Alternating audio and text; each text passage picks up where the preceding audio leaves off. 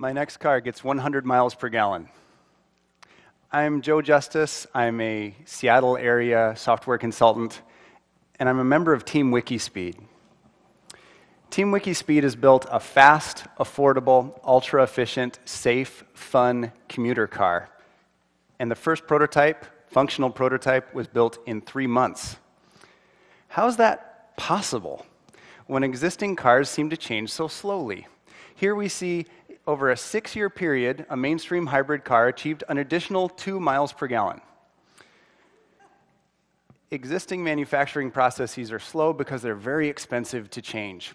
If an engineer wanted to redesign this door tomorrow, they would need to wait 10 years to first pay off the current door mold before making another one, or else lose millions of dollars. Manu- this is not uncommon in manufacturing teams for them to run on 10 to 25 year development cycles. Old software teams used to run the same way. We use seven day development cycles. This is how new software teams run, and it allows us to make changes very quickly. In 2008, the Progressive Insurance Automotive X Prize announced a $10 million prize purse and an international challenge to see if it were even possible to build 100 mile per gallon cars to road legal safety specifications. The closest thing we had in 2008 were like bobsleds.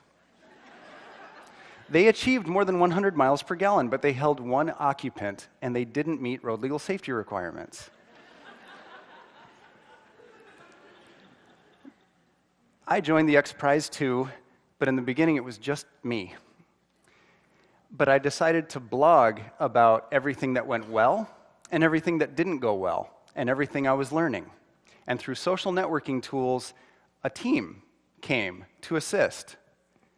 And three months later, we had the car that we campaigned in the X Prize and a volunteer team of 44 team members in four countries. We tied for 10th in the mainstream class, that meant we outlasted more than 100 other cars from companies and universities around the world. We do this by modeling our team to develop the car after modern software teams. We use techniques with funny sounding names like Agile, Lean, and Scrum. These methods all help us make changes quickly right after the X Prize, we were invited to the largest auto show in the world, January 2011 in Detroit, Michigan. We knew we wanted a more beautiful car, a more aesthetic car, but we also knew that for one car body, it would cost us at least $36,000 and three months lead time. So I took time off my day job and I went to composite school. I came back to the team and we made small models of the car and iterated a composites process that ended up letting us build our car body in structural carbon fiber in three days for $800. They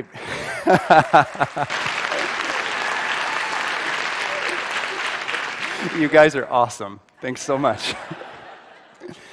they put us on the main floor of the auto show between Ford and Chevrolet. Lucky for us, the car was beautiful. That car went on to be featured on the Discovery Channel, Popular Science, Popular Mechanics, the New York Times Online, uh, the National Geographic Channel, Wired Magazine, the Forbes Billionaire Club linked to us, and others.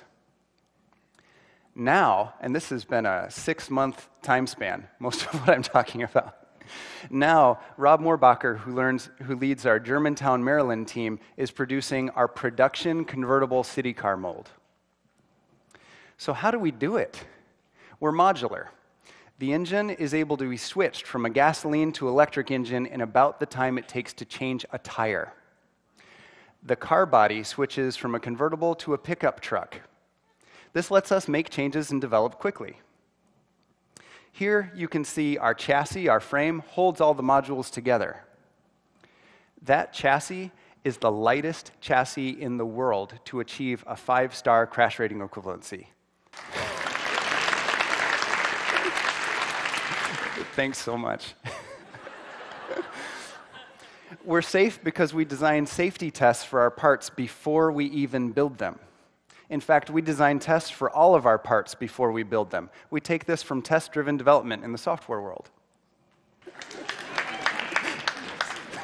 you guys are awesome. We use less stuff wherever we can. Here, Rob Huggins, a Seattle area uh, recent high school graduate, is saving up for college, and he's able to build a Wikispeed car by using an $89 bandsaw and a home built CNC router instead of a piece of equipment that costs more than $100 million in existing automotive process. We reduce the cost to make change wherever possible costs in tooling, machinery, and complexity. This lets us not have to wait three to seven years for the next version of our product. Again, we're able to make changes to any part of the car every seven days. We use distributed collaborative teams. These, again, increase our velocity. And we found that morale is a multiplier for velocity across the team. And the way we organize our teams is the smallest, fastest way to organize an agile team. It's called Scrum. Scrum is a method to manage a team in a very rapid way, and that's exactly how we manage our teams in Team Wikispeed. We do all our work in pairs. This avoids time spent training that's not productive. It also eliminates the need for most types of documentation.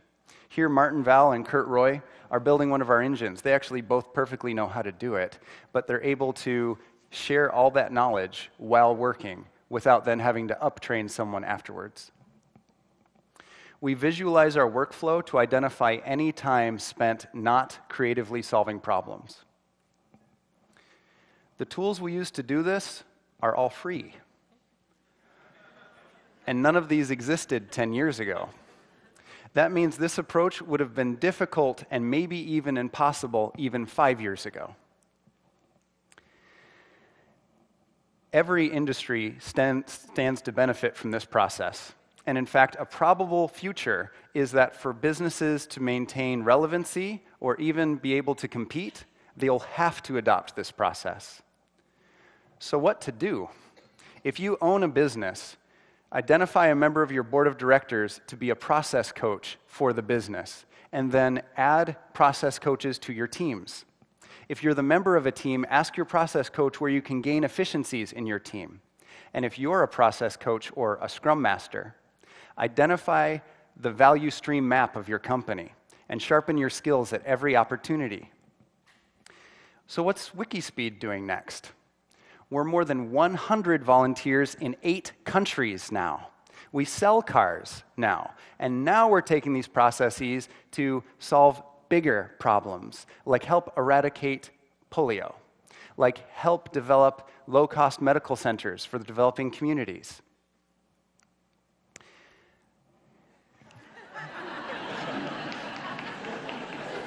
Join Team Wikispeed and let's change the world. You'll sharpen your agile skills and make a difference in the world around you. But even cooler than that, I invite everyone here to spend two hours a day, even just two hours a week, rapidly solving problems for social good. Many of the members of Team Wikispeed spend between two and eight hours a week helping us rapidly develop our cars, and we've had phenomenal and regular successes with it. You, we build ultra efficient cars. One of you might help eradicate rotavirus or develop simple, maintainable, distributed banking applications for the developing world. And that might be even cooler than watching TV or coaching Little League. If everyone in this room spent even just two hours a week rapidly solving problems for social good, it would be so awesome it would be like a gorilla high fiving a shark in front of an explosion. Thank you very much.